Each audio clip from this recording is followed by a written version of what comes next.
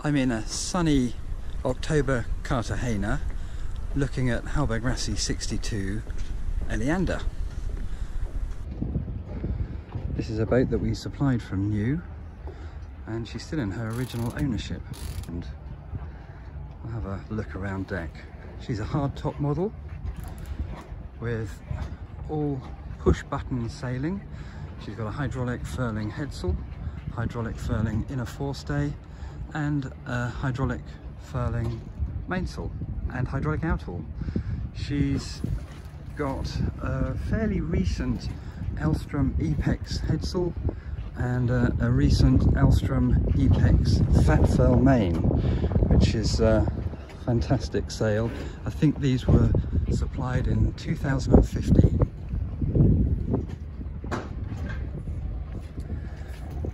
Hatches have always been covered and are in fantastic condition, as are furlers, bowsprit for gennaker Code Zero, stainless steel chain so you can have additional chain uh, that will still self-stow in a large chain locker, plenty of dorade vents, six dorade vents on deck so permanent fixed ventilation, perfect in a uh, Mediterranean setting like this or even in October, we're well up into the 20s. That, she has plenty of opening hatches as well, not to mention opening port lights in the superstructure. So, you saw earlier she's uh, a hardtop version.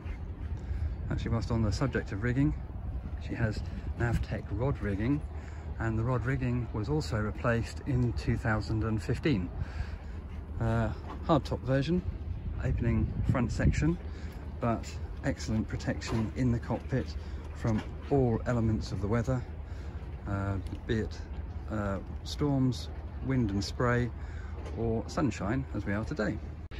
Part of the push button sailing ethos, all the winches in the cockpit are powered. All of the sail area can be set, reefed and furled away from the helm position. Um, everything is, is accessible there from headsail sheets, main sheet, secondary winches and all controlled from buttons on the deck next to them. The pedestal has been a little bit redesigned. The teak top has been replaced with a more durable material and also incorporated controls for the navigation systems and forward navigation, forward uh, forward-looking echo sounder and echo pilot, all of which are available on the two large computer screens in the cockpit, um, beautifully installed and perfect for the job, waterproof, multi-input, uh, glass screened, aluminium bodied monitors. Uh, you've also obviously got multifunction displays here and autopilot control, secondary controls for the windlass, um, uh, and isolation for the bow thruster.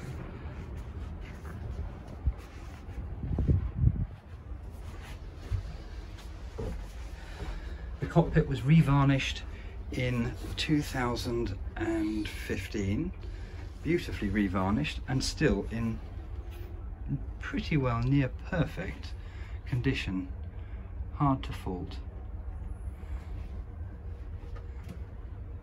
ST70 Plus displays over the companionway, two multifunction displays and an i50 wind for an analog wind display. Glass holders, varnish work in the hardtop still in perfect condition. Glass fibre, shining and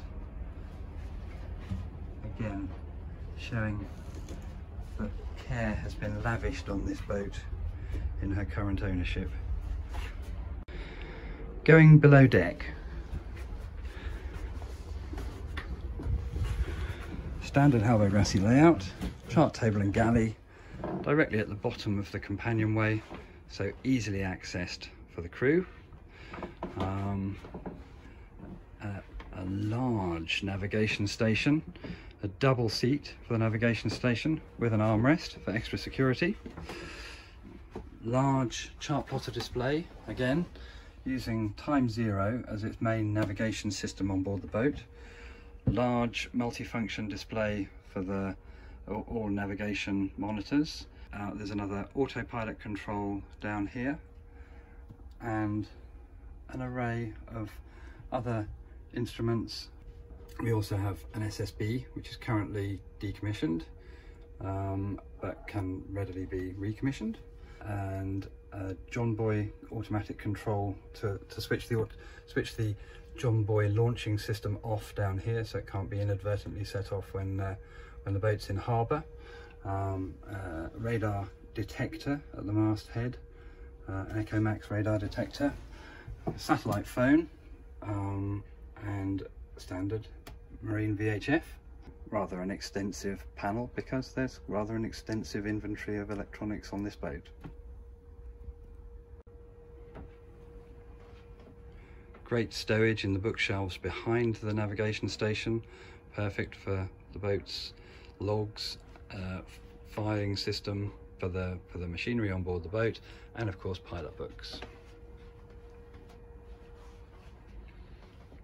Moving to the galley, she has a combination uh, microwave and fan oven, uh, which has been the main uh, cooking appliance on the boat. She does of course have a standard Force 10 gas system with three burners on the hob and a gas oven below. In addition to that, she has uh, an induction hob, avoiding having to find different types of gas bottles in different countries as you as you travel around. But the gas system is perfectly serviceable. Unusually for a Hallberg Rassy 62, she has a front opening fridge. And it is a very big fridge. So front opening fridge, uh, which is significantly bigger than the standard fridge would have been. And in addition to the front opening element, you still have the traditional top opening part as well. So uh, very well covered for fridge space. And in addition, you have a freezer, which will be on a dual thermostat so that you can uh, you can use it either as a freezer as it's being used at the moment uh, or you can use it as an additional fridge if you don't need the extra freezer space. Plenty of stowage in the galley, a great galley for, um, for, for a seagoing boat. You can brace yourself comfortably in the galley. Another special for this boat, a, a machined Corian, built-in Corian draining board. Again, plenty of stowage all around the galley. Big areas for dinner plates, small areas for bits and pieces of, uh, and then open areas and closed areas. So lots of stowage. Open and closed stowage in the aft cabin. Three opening ports in the superstructure. Two there. One behind me. There's very little air outside and, and it's a hot day, but I've got enough breeze coming into this aft cabin through those opening windows just to keep, to keep the temperature comfortable. But of course she also has a large opening Lewmar deck hatch and again a large opening Lewmar deck hatch in very good condition unscathed by the Mediterranean sun. Two hanging lockers in the aft cabin two good sized hanging lockers and uh, chart stowage suitable for a, a world folio of charts.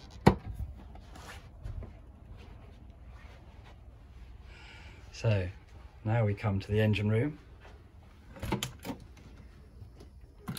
Of particular interest in this boat as she's a boat that uh, does get used. She has plenty of electronics on board the boat and electrics to use power but she has an appropriately sized 12 kilowatt generator it's a, a low revving diesel generator traditional sort um, and she has a Perkins Sabre main engine which is a, um, again, a torquey, low revving engine, very suited to a sailing boat and has proved very reliable. Um, the, she has a, a big inverter, a 5 kilowatt inverter mounted on the forward bulkhead. Battery chargers, I'm charging both 24 and 12 volt battery banks.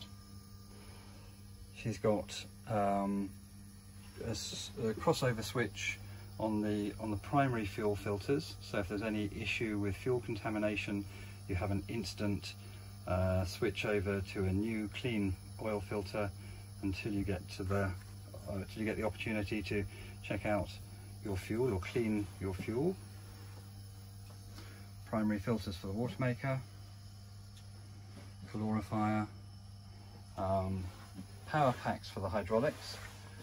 For the main furling hydraulics, we have a, a Selden power pack.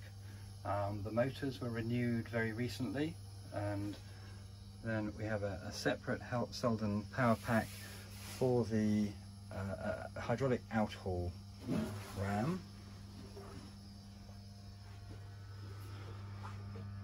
Then we come to the air conditioning. We have three compressors. Uh, it's a, a chilled water air conditioning system, independent control for um, for each cabin or each each living space on the boat, saloon, aft cabin, three forward cabins. Two calorifiers on board, so plenty of hot water. And a Whitlock Drive Mamba autopilot drive. So that's Eleanda, a 2007 Hallberg 62. She's being sold as a complete turnkey sail away boat. Everything that the boat normally has is included in her in her inventory. Her normal cruising inventory will be sold complete with dinghies, outboards, life jackets, uh, everything but personal items will stay on board the boat. She'll even come with a full tank of fuel, significant values worth of uh, diesel in the tanks. Um, and uh, she's lying in Cartagena and anybody who's interested in a large offshore cruising boat um, I would strongly recommend coming to have a look at Eleanda. She is a beautiful example of a Hallberg Rassy 62.